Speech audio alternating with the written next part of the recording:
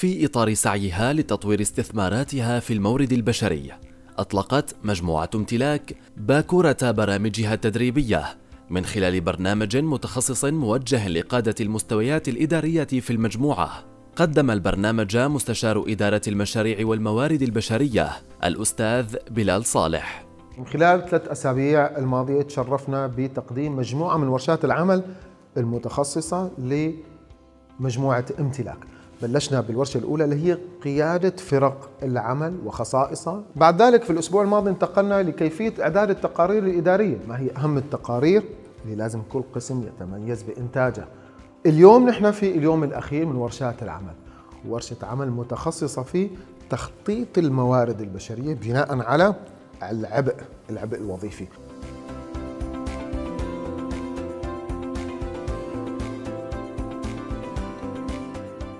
شملت الدورات أكثر من عشرين قياديا من مدراء ورؤساء ومشرفي الأقسام في شركات المجموعة ومنها شركة امتلاك العقارية شركة سفرك السياحية علاجك الطبية منصة الدراسة IMT Event لتنظيم الفعاليات.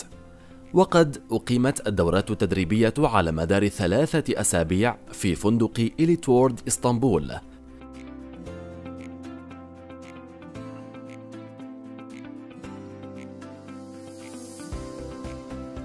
إن شاء الله سنستمر أيضا في مجموعة امتلاك ببرامج آه، تدريبية مخصصة لكوادر المجموعة في كافة المستويات الإدارية بهدف رفع سوية الأداء التي يسهم في الخطة الاستراتيجية والتوسعية التي الموضوعة لمجموعة امتلاك في كافة الشركات التي تعمل بها. تلا البرنامج المميز حفل توزيع الشهادات بحضور المدير العام لمجموعة امتلاك الأستاذ عبد الله الحماد، وحاز البرنامج على استحسان وتقدير عاليين من المشاركين.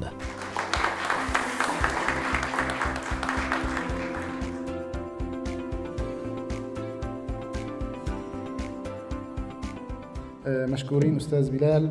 والله يجزيكم الخير لكم آه، وإن شاء الله في الأيام القادمة بنعمل أعمال أحلى وأكبر إن شاء الله. شكرا لكم.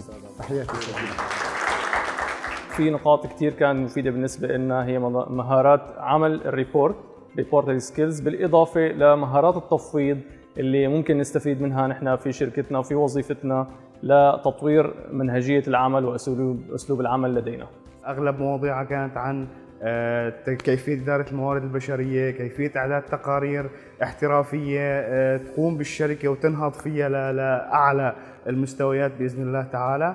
أيضا موضوع التفويض الإداري استفدنا منه بشكل كتير كتير كبير بالنسبة لموضوع آه، التفويض للأفرع كاملة بامتلاك العقارية. حرصنا على حضور هذه الدورة التدريبية لتنمية مهاراتنا القيادية مما سينعكس بشكل إيجابي على موظفينا في علاجة وبالتالي تقديم خدمات للمرضى أفضل في تركيا وتحقيق نسبة رضا أعلى بإذن الله. الخبرات اللي أخذناها من المدرب الأستاذ بلاد صالح كثير كانت مفيدة لنا وكانت مميزة بفضل الله وإن شاء الله عز وجل رح تساعدنا للعمل في المستقبل بشكل أكبر وأكبر يعني.